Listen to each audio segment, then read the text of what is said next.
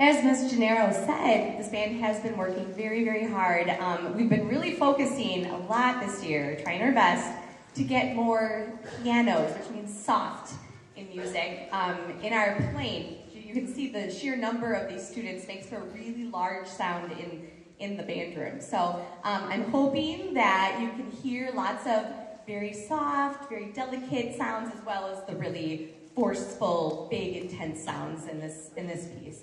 Um, we do have a soloist in this piece, Kaylee, over here. Um, so listen up for that about halfway through.